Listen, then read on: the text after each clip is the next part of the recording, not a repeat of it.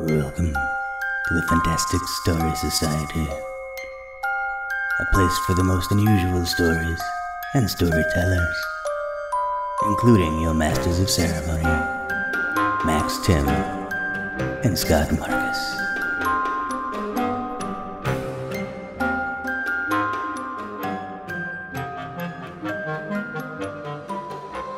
Right, welcome everybody. This is the Fantastic Story Society. I'm kind of pumped and jazzed about the title, if if nothing else. But um, excited to be launching our episode zero, as we're calling it. This is our opening episode of a brand new podcast that myself and Reveal Scott Markus, my Scott, long yes, I am behind door number one.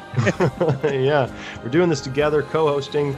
Um, we've had this idea for a little while that we kind of wanted to have some form of a paranormal oriented storytelling podcast and we could have just titled it that but then you know how do people tell everybody hey i'm listening to the la and it takes them five minutes to say the title but that's what we're trying to do uh, i have a storytelling background obviously scott of course does too but scott has that uh, paranormal background a lot more than i do uh, that's a, you know needless to say but this is going to be fun. We've both been fascinated. We've Yeah. both been fascinated by the unknown and the spooky and the, the skin crawly paranormal for as long as we can remember. And you know, Yeah. we we've known each other since I guess it was 2002, well, ish, 2001, 2002. Mhm. We were each other's first roommate when we moved to Los Angeles in 2002.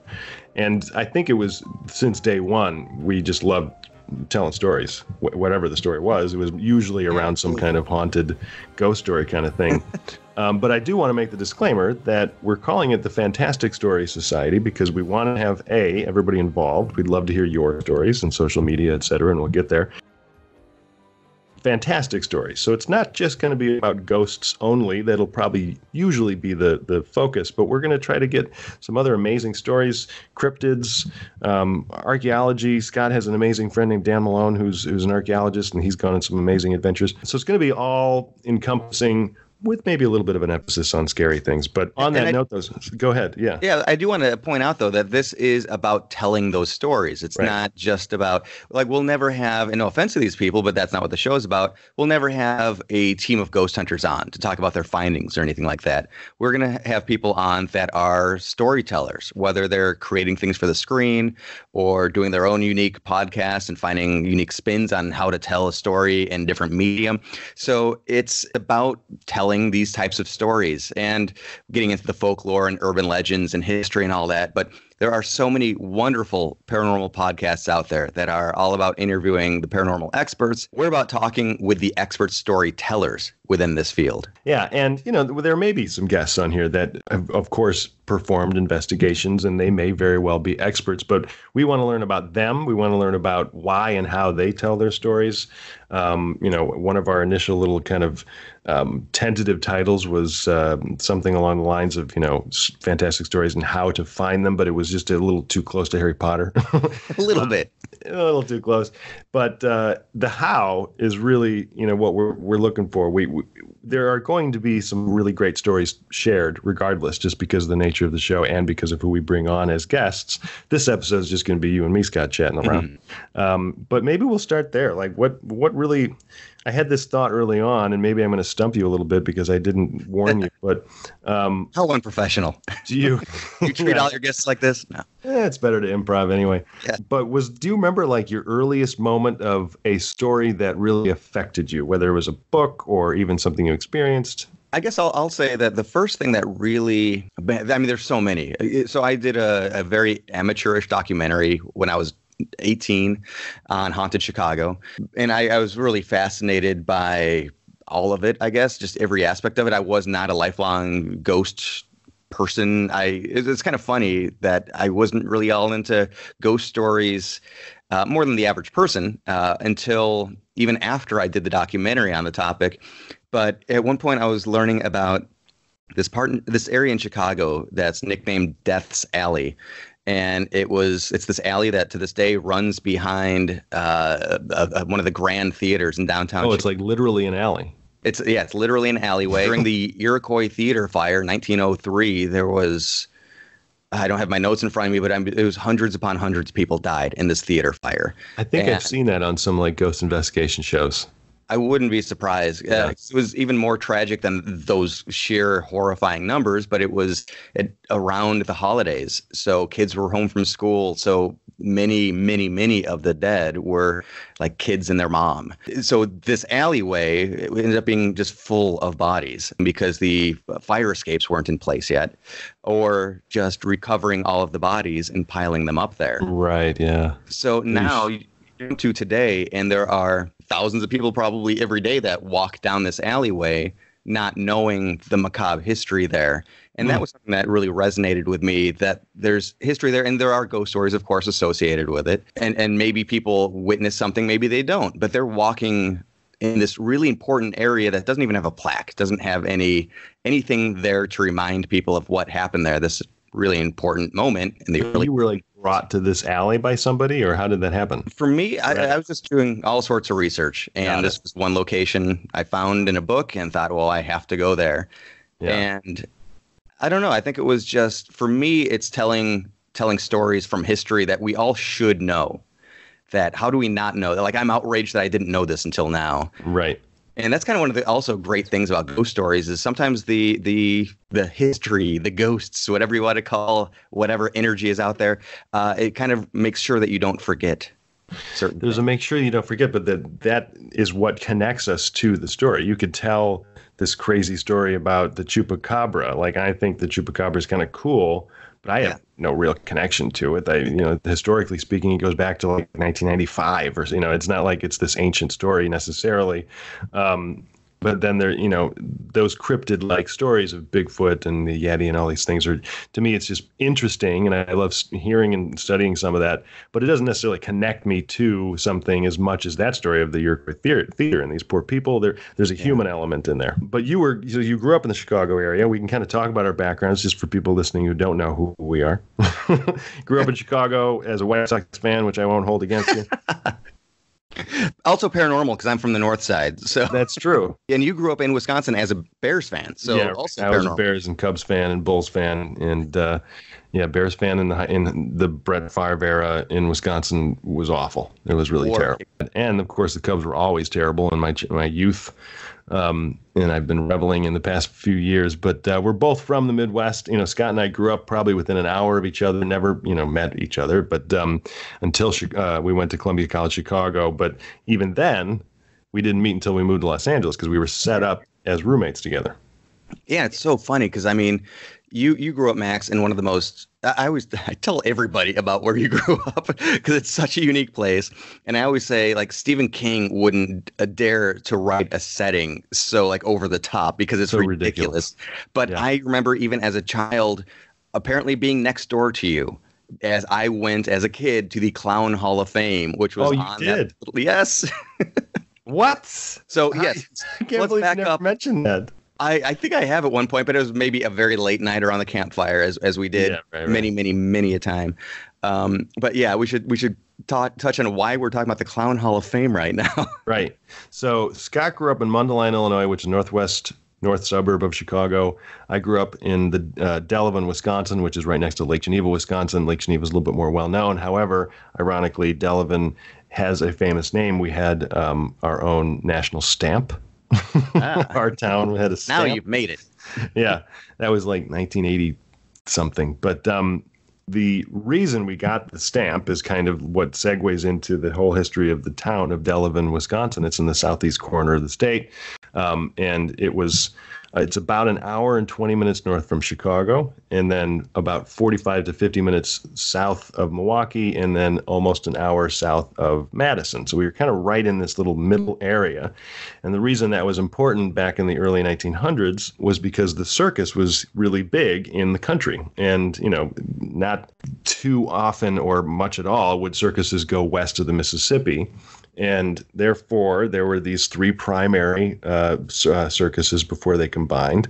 And of course, I wish I could name them all, but it was like Ringling Brothers, and then Barnum was separate, and then the Bailey Brothers or something. Eventually, Barnum and Bailey came together. But those three circuses would be, you know, one in Madison, one in Milwaukee, one in Chicago, for example. And during the winter, they would meet in my little hometown of about 7,000 people. At the time, it was much, much smaller. And just stay there all winter. No circuses were actually ever performed in our town, um, but it was dubbed the circus capital of the country in the early 1900s. So from there, there was you know buildings constructed to house all these circus people and then put all the animals in certain places and so it became this little circus town literally uh, over the winter for i think it was only a short time maybe 10 years like i don't think it lasted that long but Okay. the elephants if they if they died or any other animals they would just dump them in the lake behind the house that i grew up in Man alive. and there are still elephant bones in the bottom of the lake. But t- today, you know, to kind of try to bring us current, um, and, and there's a whole story about Harry Houdini when he first ran away from home. He stayed in the hotel that is, you know, still standing in my hometown. Um, but I think he was like 12. He stayed in the basement Yeah. where I grew up, it was one of the first houses built in the town. We were lived in this house for 25, 26 years, and it was always commercially zoned. It always had all these different businesses run out of them, uh, out of it, from uh, um, a restaurant to a boarding house for many years. I think almost 50 years. It was a barbershop and a beauty salon right before we moved in. When we moved in, it had was like the sign was still on the side of the house. beauty Yeah, salon. wow. Old ladies would still come over, knock on the door, like I'm here for my. And my mom's like, uh, we don't really. Uh, uh, you got to call ahead. No walk-ins. yeah, yeah. And it was also used as a, a funeral home where they would actually hold wakes for people. I mean, this is a 120 year old house. But across the street, when I grew up, when I was very little, probably up until I was 12, 13, when it finally left, was the Clown Hall of Fame, what Scott was talking about. And it was this little building, like it wasn't anything uh, magnificent, but inside was like the history of clowning, whatever you want to call that. And we haven't grown up since, you know? yeah, right. And then down the street, literally down a block, not even, what is our tiny main square park, if you want to call it a park. It was pretty small, but it was our water tower park, the water tower. It was in the middle of the park. And there was this giant, is still a giant statue of an elephant named Romeo standing on its hind legs with its arms up. Uh, and then in between its legs uh, is a clown just waving and smiling. And I only learned, I think it was even from you, maybe, that Romeo was made famous because I think he, it was at at least three people that he killed because he was pissed off all the time and he stomped on these people. Oh, so man. Delavan decided to erect a statue with someone standing between his legs, which is, still boggles my mind Yeah. so anyway, there's that statue, and then there's another statue of a giraffe like 20 feet to its right, um, and then all the drinking fountains are open in town are open mouths of lions. You stick your head in and get the water. So it's, it was just a really weird town to live in. It's not like the whole town looked like a circus or anything, but it did have some throwback stuff about it, and you know the town still celebrates its circus history, and it's wild. That, that's amazing. And I'm actually looking right now at a photo of a plaque, which actually is on the Romeo base, I guess. But yeah, 26 total circus companies. And we are looking at the mid 1800s here. So we're, we're going way back. I was wrong. Okay, so then it lasted up until maybe the 1900 year or something, possibly. Between 1847 1894, Delavan was Okay. home to 26 different companies. So yeah, up to the late 1800s. Um, and it starts with the the Mabie Brothers. That's M A B I E. Okay. Uh, Mabie Brothers U.S. Olympic Circus, at the time the largest in America, arriving here in 1847. So they were the ones that really kicked it off. Thank you for fact checking that. there's, That's- a, there's a plaque that I could have easily walked to and read maybe once in my life. That's yeah, so that was my little hometown, and I, you know, the the house I grew up in was directly across the street on my little cul-de-sac of the original graveyard of all Yeah. the founding people that you know first lived in town. There was probably 45 headstones, and the founding fathers, so-called, are in that graveyard. Uh, and and we, I lived literally across the street from it. My poor sister Carrie, who uh, was always very sensitive to ghosts and hauntings and things, um, was given the room that had a beautiful big picture window that looked right out over the graveyard. So she had to grow up with that hanging over her head, much less other things hanging over her head that we can get to. But yeah, I that house was very haunted. And I'm just uh, gonna imagine being our age, growing up in this town, and the and the TV series, miniseries, It comes out. yeah, Just to, oh my gosh, you, if you had a clown thing, you just it would have to move. yeah, yeah. yeah, it was it was a oh my god, that's a whole other podcast. But um, we can get back to my haunted house because yes, some of those we have to. We must. Um, but so you, it's interesting that you were more interested in the history of things, and then you slowly became interested in different types of hauntings because that's always fascinated me. For when I was younger, growing up, I was like, it's a ghost, is a ghost. It, it's interesting, and I've always liked scary stuff. You know, I, I remember the summer I discovered Stephen King as like a ten year old or something like that, and I just couldn't get enough of watching movies that scared me. And and uh, eventually, it was more so the ghost side of things. I, I remember one night, and this was, I guess, my origin story here.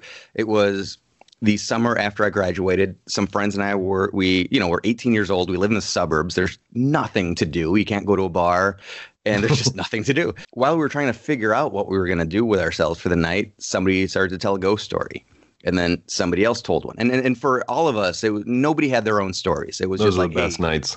yeah, this is this is something I saw in Unsolved Mysteries. Wouldn't that be creepy? And Right. you know, this is around the time of the Blair Witch Project as well. It was amazing. Uh, there was a moment where I kind of like stepped outside of the the moment, and I was just able to see just how passionately everybody was telling these stories that none of us had personal connections to. Like, could you imagine how much more amped up this would be if we knew what we were talking about at all? Yeah, right, right, right. and that night, and so first off, we started telling ghost stories. I think around ten or uh, nine or ten at night.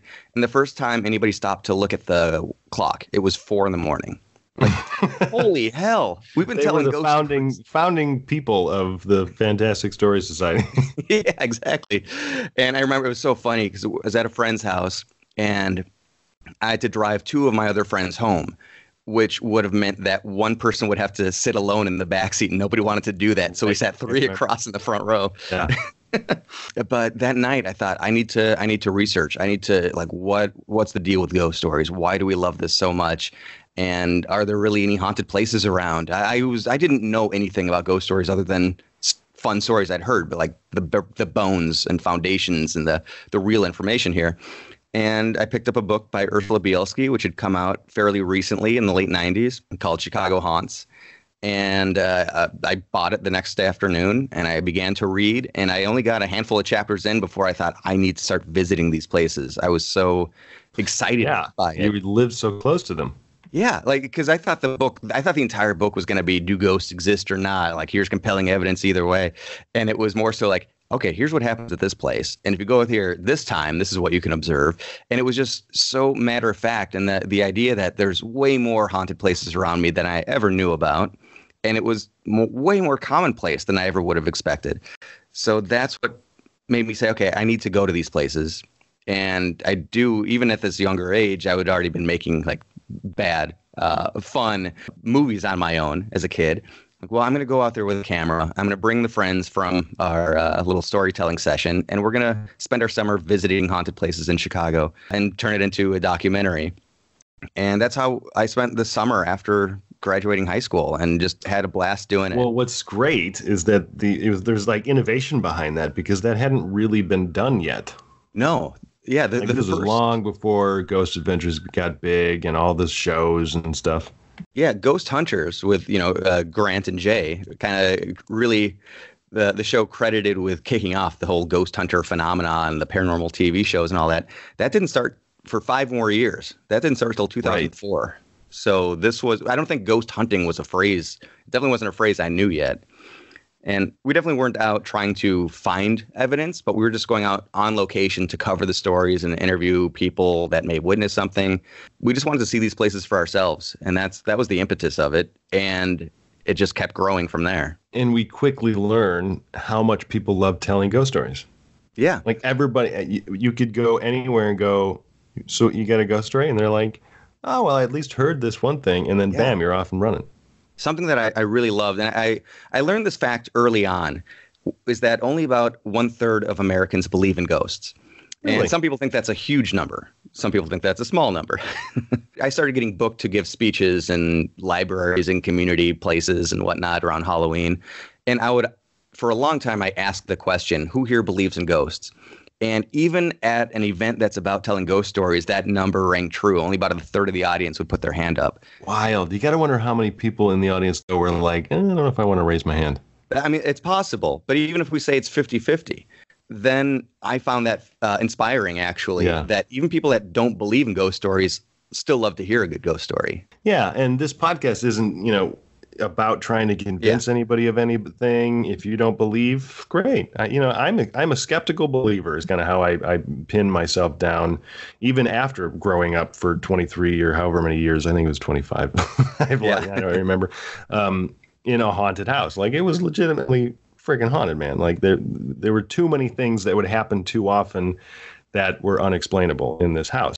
And so, but even I, who, you know, as I got older through college and out of college, I just, you know, got more involved with listening to your stories and what you do. And then I watch as many of the ghost investigation shows as I possibly can just because I think it's hilarious um, and it's entertainment. And most of the time, I'm like, come on. I hate, Yeah. you know, when, when, when they're like, oh, I feel something. I'm like, I don't, Yeah. You know, like, I don't, what do you That does mean? not translate to the living room. like it, it, it adds some suspension and tension. All right, fine. But the things that are difficult to explain, that's what I'm waiting for. And then bam, I'm like, okay, let's look at that. That's cool, you know? Mhm. Um, and that is where I think the, the impetus of fantastic story comes from. Fantastic is above expectation, you know? Um, and and that's where we're going with with regardless of the field we're going to be talking about it's just some wild stories like one thing i remember you telling me about how I think it was your friend Dan Malone found out that one of these circuses way back when, um, sticking on the circus theme, Mhm. uh, had a, a train car that spilled an Egyptian mummy. This was a uh, a, chur- a, a uh, circus that went out of business while they were traveling through Chicago, right, and they just and they had kind of a a sideshow type of thing. And now, well, they've got these assets that they're. I don't even know if they had they were going to liquidate things. They were just done. So they had a couple of actual Egyptian mummies that they just needed to get rid of. So they buried them in a forest preserve in Chicago. so right now, to this day, and and there's it's so hard to find any real solid information because we are again talking 1800s and it's talking about covering something up too so it's really even more difficult. There's a chance at least and we're this is one of the many stories that dan and i are, are working to to get to the bottom of is are there actual egyptian mummies buried somewhere in chicago? Yeah, and hopefully hopefully the answer is yes because that would be cool but hopefully we can also recover them and then then there's a whole new life to these corpses let's be honest totally. getting them back to Egypt or whatever would happen with them next. Yeah. Yeah. Oh God, I hope they're still intact if they are real. But anyway, it's those things that just always inspires us and it just excites us when we hear wild stories like that. Of course, you you go toward the ghost thing because it's so mysterious and but there's emotion involved too because a good scare is always really fun. Growing up in that haunted house, I didn't have nearly as many experiences as two of my sisters. I had three older sisters. Um, I was the youngest.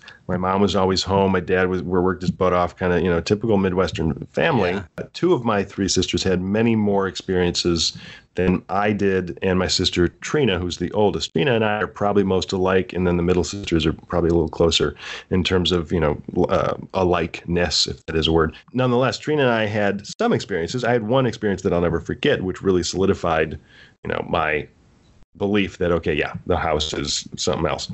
But uh, Carrie, my poor sister Carrie, was closest in age to me. I want to go into every detail, so I'll try. But um, Yeah, I, I really want you to, uh, as I'm directing here, um, and I, I think those little details for me when it comes to writing and and writing a great scary story. Yeah. Uh, environment is everything. I mean, just think of the others, where you know you can only have you can't have any light coming into the house.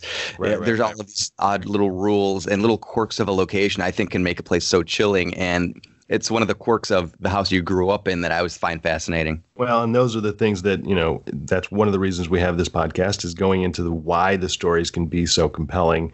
And little details like that, like you said, it really helps. Um, so setting the stage, my house was basically a giant square, almost rectangle. And by giant, I mean I think it was it was probably about three thousand square feet. It was a big old house. It was big, yeah. had a whole bunch of like it, it would it was the opposite of of open concept. Rooms all over the place. But what was fascinating about upstairs and it's something that you know i when i was three years old i think is when we moved in.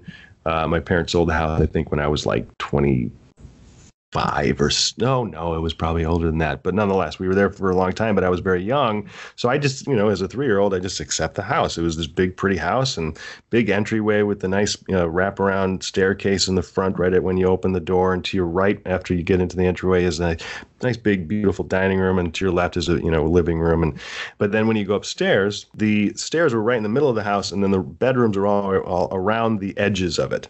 Um, so there was nothing really in the middle all the bedrooms were around the edges of it. But I remember growing up with these giant deadbolts on each of the bedroom doors, and those deadbolts were are still in the house. And I just never even thought anything. I'm like, whatever, this is just a lock, you know. But they were huge. like you really had to put some effort into turning these things. And I didn't even under put it together. But my mom said, well, you know, it was a boarding house. Why do you think there were deadbolts in all the the uh, bedrooms?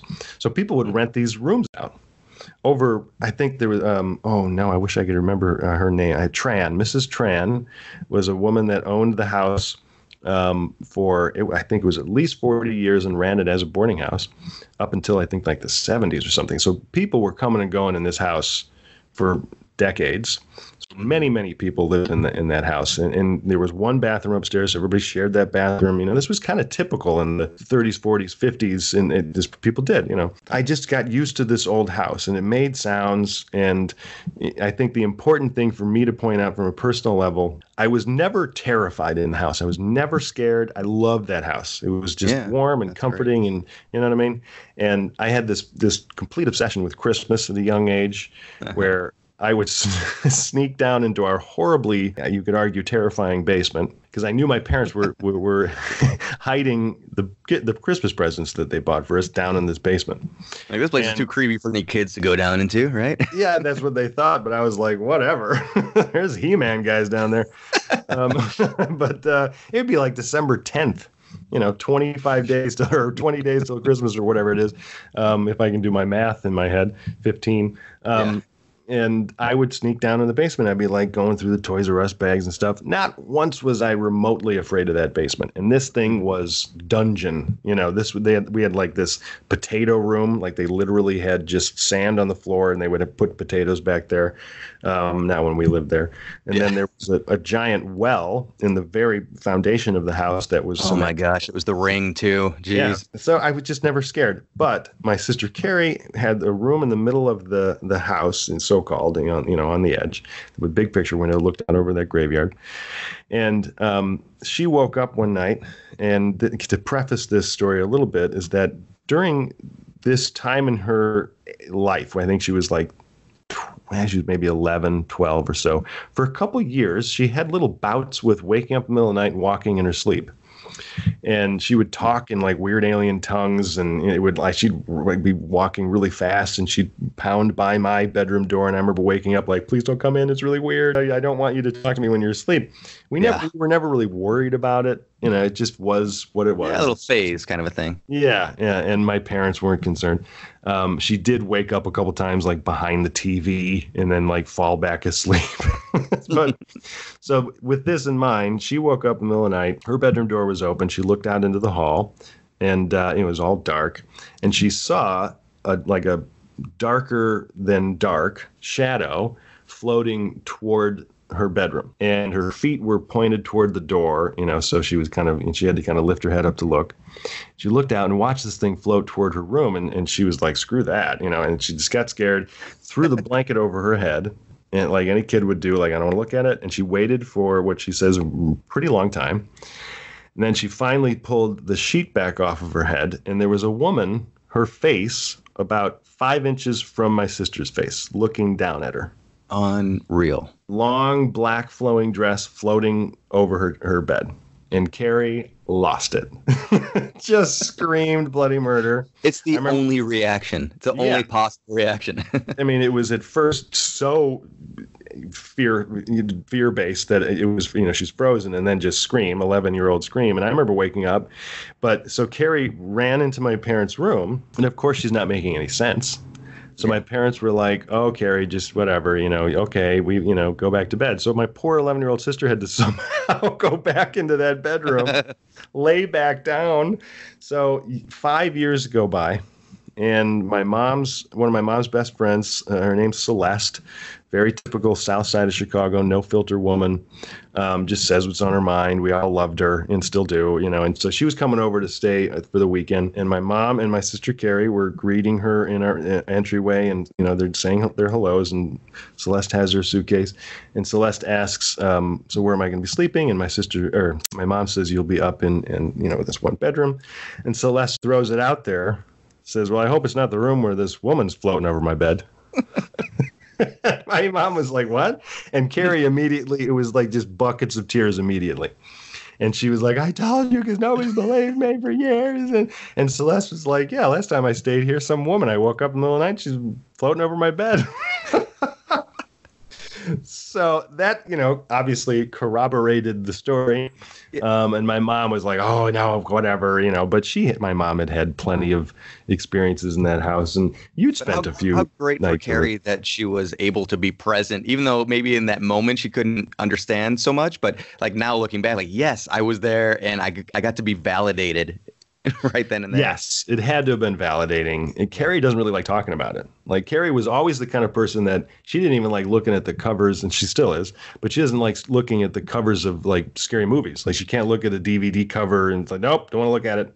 Like she's that sensitive, and of course that moment made her even more sensitive. Um, and she- Scarred is the word. Yeah. totally scarred and and that house didn't help but you know there are multiple other stories that just every night probably somewhere between three and four in the morning you'd hear footsteps or what sounded like you know if somebody was holding a big bag of marbles dropped the bag and like the balls and marbles kind of spread out across a hardwood floor.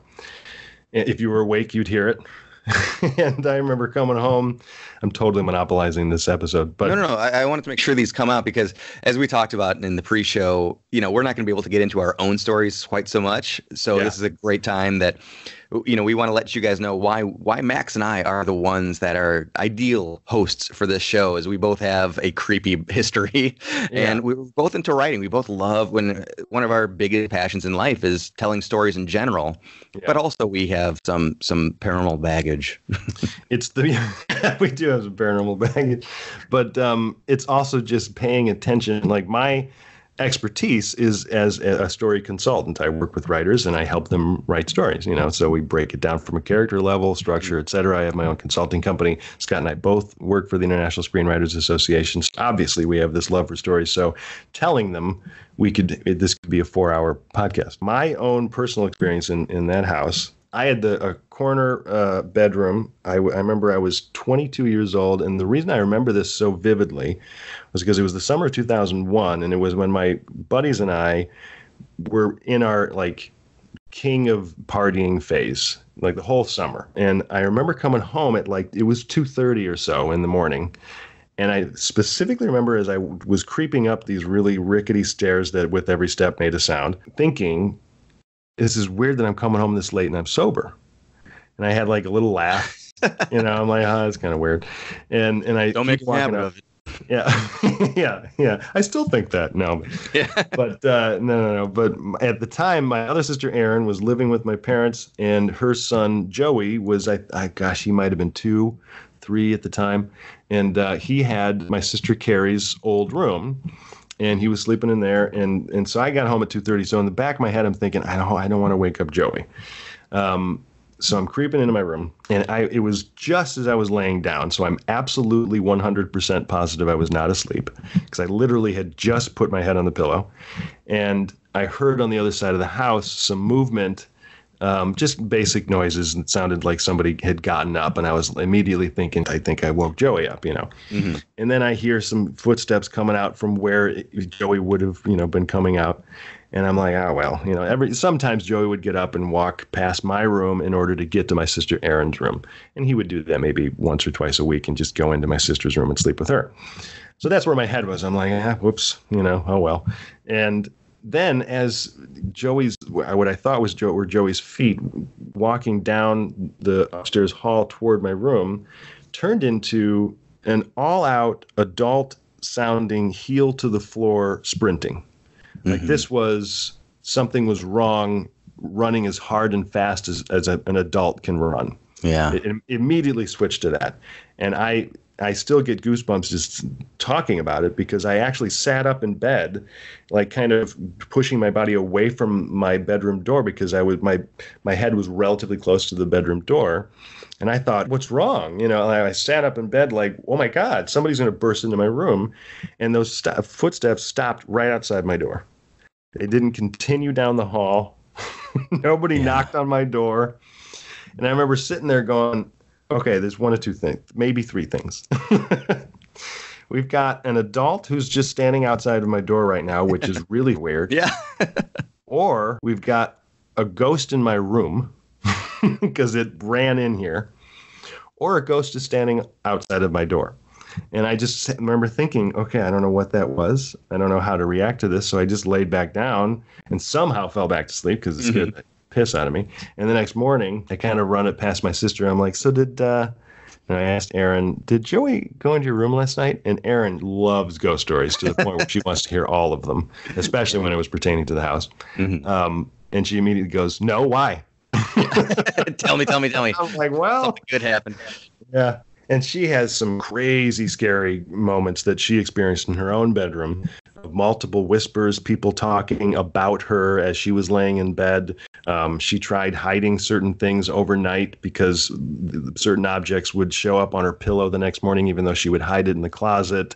Um, I mean, I could go into detail, and if she's listening, she's probably like, "Why do you got to tell the whole thing?" But we're kind of running low on time. But uh, just wild stories about that house, which I think is what connected me so much to storytelling at a young age, um, because I was just fascinated by curious things that you don't have an answer to you know? Yeah. And it seems yeah. like that's where you're coming from too. Like oh, let's try to find what this truth is. That i mean it, it's it's become that more and more but i, I got to say that so it was interesting. I, I got very fascinated with ghost stories and once i began to appreciate history more as a result of those that's when i was really completely hooked forever yeah yeah and so for me, and this is kind of a small one, but uh, Fort Sheridan on the north shore of Chicago, this beautiful, massive, old, old military base that was uh, Civil War, I think pre Civil War era. Uh, so it really, really dates back. And uh, when I was writing my book, so we're looking at the early 2000s at this point, it was a decommissioned military base. And I just happened to be in the area one night, late at night and thought like, well, let's see how close I can get. And I pulled up to the front gates. You were by yourself? I, I, was with Mary Serwinski, who was yeah. my research partner at the time. Yeah. There was a guard tower, but the gate was up, and there was just a sign that said, if you enter these premises, you consent to having your vehicle searched. Well, fortunately, I dumped all my uh, automatic weaponry before I got yeah, here. Yeah, right. So I'll come right in.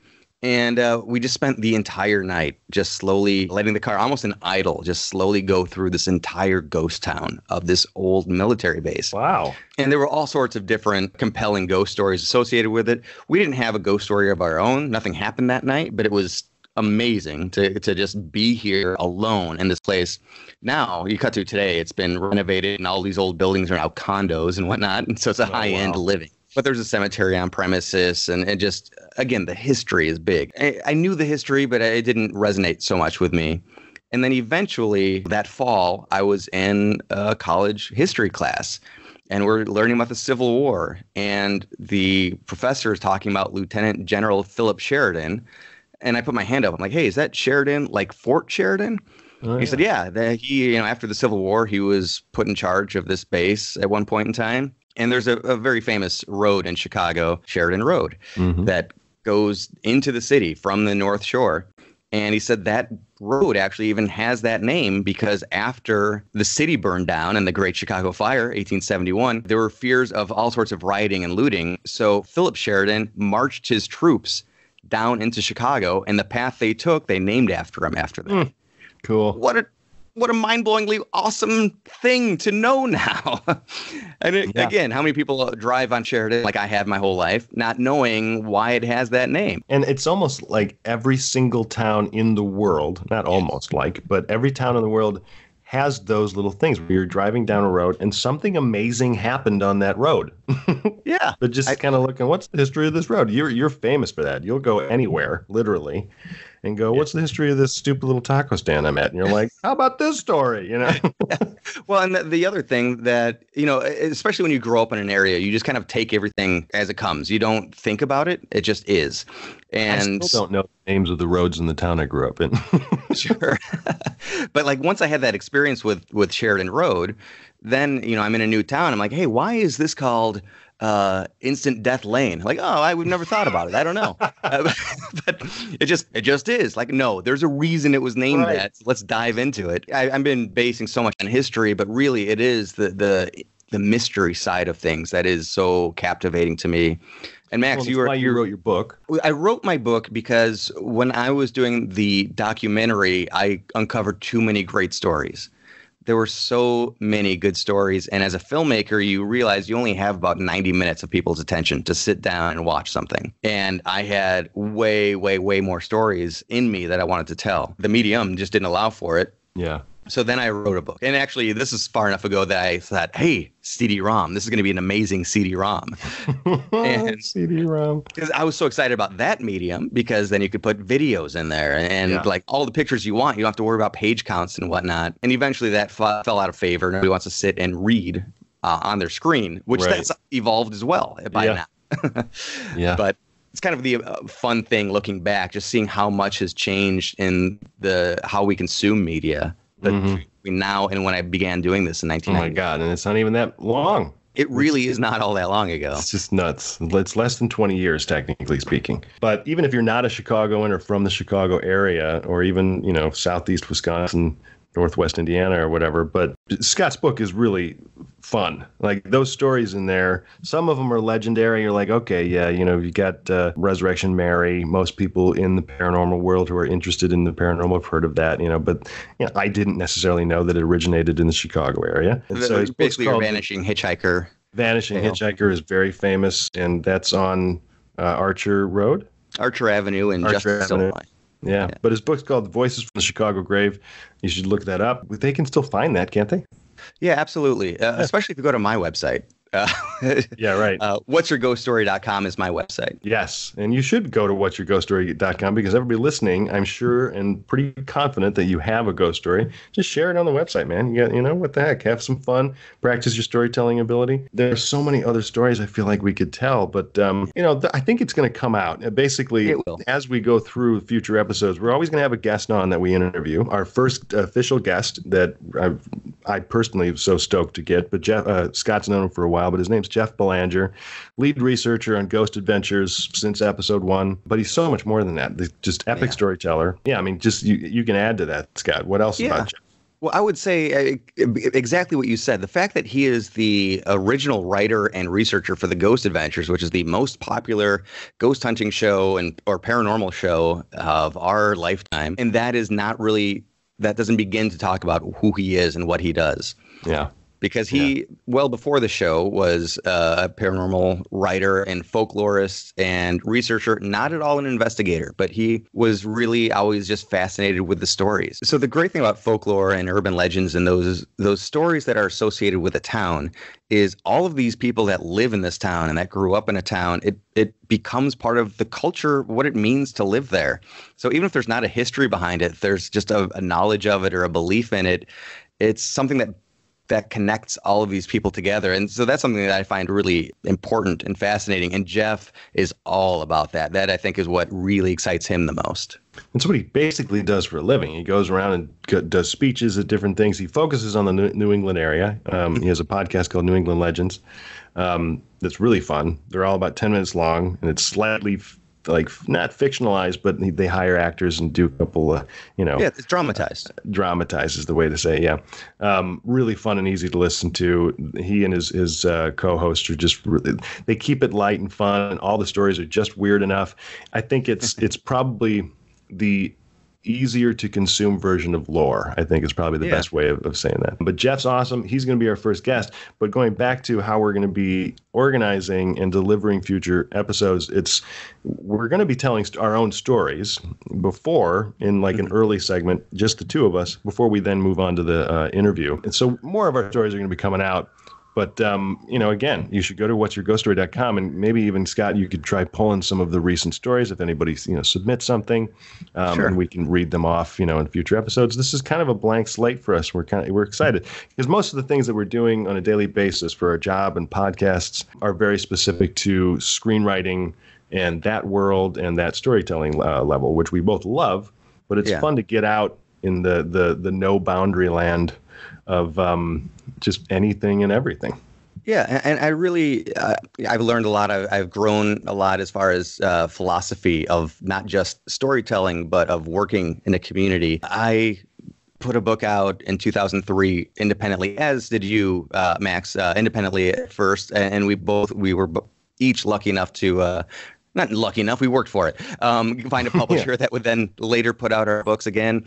Uh, but when my book first came out, uh, it was it it generated such a wonderful community of people online that would then come out and share their stories and share their own independent research and share information, and a community was grown and that's why i love working with the isa they are all about building a community too. As a writer it's hard to have a community a lot of times. So they do things like the third thursdays meetups but the, you know, the website in general and for me putting my website and my information out there it's all about sharing information sharing personal history stories uh, just putting yourself out there and people sharing it. And and when i was able to then have my book re-released five years later it was 100 pages longer just because so much more new Sure. information was delivered Yeah. to my doorstep Yeah. and the product was so much better and i was so much more proud of it uh, well, so that's more often you're writing and telling stories, it's impossible not to improve. Uh, Yeah. You're always going to get a little bit better. When I'm talking to my writers one on one, I have a bunch of personal coaching clients that I have on the phone that we work on their projects and develop these things together. I'm always telling them, "You're it's it's literally impossible for you to get worse at this." You're, Yeah. you're, you're not you, you, everything that you write you're going to improve just even a little bit. And the more you tell stories the more you get a, a hang of the just the rhythm. Uh, i was very lucky to grow up with a dad who was just naturally a born storyteller. And so I, th- I was kind of ingrained in this idea of how to tell a story what really gets people jazzed up. And so i you know pursued that. And we that's what i do with my writers on a one-on-one basis pursued this level of momentum and energy and rhythm and what is exciting and fun about just telling a story in general. So we're going to be picking some fantastic ones. before we go on and, and to uh, I just keep this lo- getting longer and longer as we're trying to make it shorter.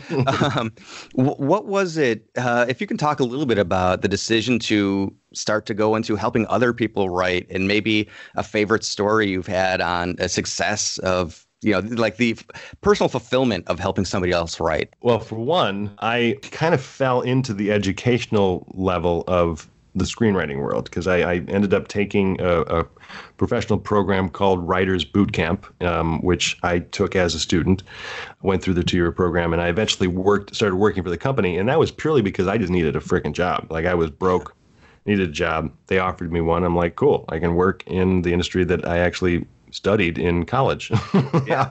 Very few artists can actually say that.